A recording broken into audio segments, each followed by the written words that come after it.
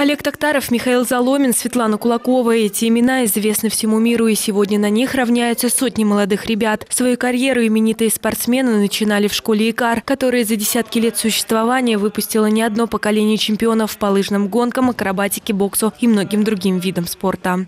Детская юношеская школа охватывает 11 видов спорта. Ну, мне кажется, они горожанам все известны. ИКАР работает очень давно, плодотворно полторы тысячи воспитанников э, ежегодно посещают секции, тренировки. Один из самых популярных видов спорта на Икаре – единоборство. Сюда приходят ребята разного возраста. Кто-то хочет научиться приемам рукопашного боя, кто-то просто стать сильнее и выносливее. Обучаться единоборству юным спортсменам помогают опытные педагоги. Каждый тренер разрабатывает свою концепцию тренировок, и у каждого своя тактика общения с детьми.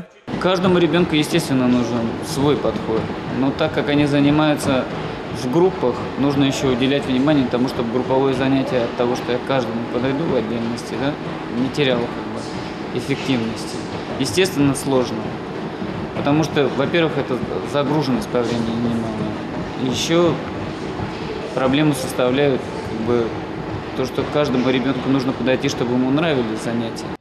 Футбол, баскетбол, легкая атлетика, бокс, художественная гимнастика. В спортивной школе каждый может найти себе секцию по душе. Самый активный набор идет на отделение пулевой стрельбы. Сюда приглашают всех желающих проверить свою меткость и развить внимание. Ирина Вышегородцева, Артемий Глазков, Сергей Рябов. Служба новостей Саров 24.